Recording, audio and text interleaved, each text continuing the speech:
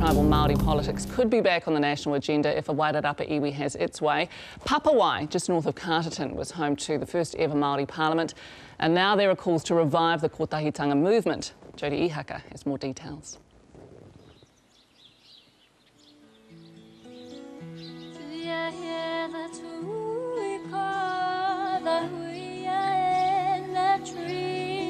The sound of Tui herald a brand new season, just as plans emerge to refresh and grow a century-old Māori political platform.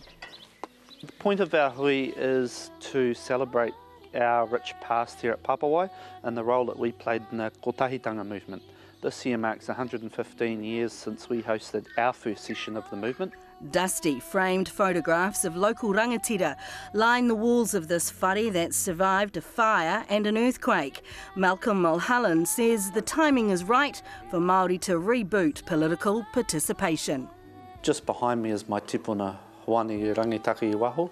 Hoani was the chief of Papawai, um, who inherited much of the land, um, and it was through him and his uncle Purika Po that they invited other rangatira to be a part of Papawai.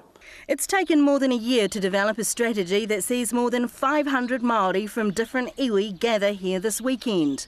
Our kaumātua have been talking about it for a long time. And over the years, since 1897, we've been actually regarded as the home of Māori Parliament. That is largely due to the fact that where Hikurangi now stands, um, that was the site of Aotearoa Pounamu, which was a big two-storey purpose-built building to house Māori Parliament. So yeah, there's been a few things in the mix, but we've felt now's the time the time is right, and let's celebrate our past. How different was Māori Parliament to Pākehā Parliament at the time? It actually operated along similar lines. So you had a lower house and you had an upper house, and we had elections and people were voted in, and there were motions that were put. Um, there was a speaker, there were ministers, so it was actually replicated on the Pākehā system of governance. I think it worked because there's a real willingness of our people to come together. Um, we were very much under the hammer with regards to the alienation of land and also the loss of autonomy and our guarantees not being met under Te Tiriti o Waitangi. So I think there were a combination of factors. People came together and thought that uh, it was a worthwhile kaupapa.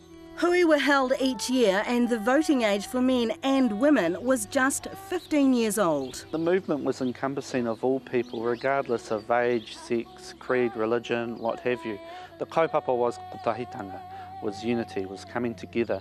And not only did we allow rangatahi uh, to vote, there was also a move to have women vote, which was um, a bit unique for its time. And they, I, my understanding is they preceded the suffragette movement um, the Pākehā Women's Movement uh, in order to have the vote in Parliament. When you talk about what is the best way forward, what do you see as some of the issues that you might be looking at?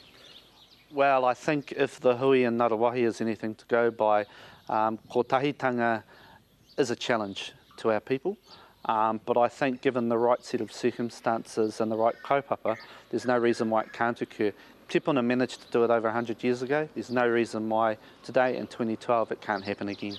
The Māori Parliament seemed incredibly progressive politically for its time. Why did it fail? It ultimately failed because there was a conservative faction and a radical faction. And uh, really, there was a piece of legislation, the Māori Council Act, that delegated authority to Māori councils throughout the country.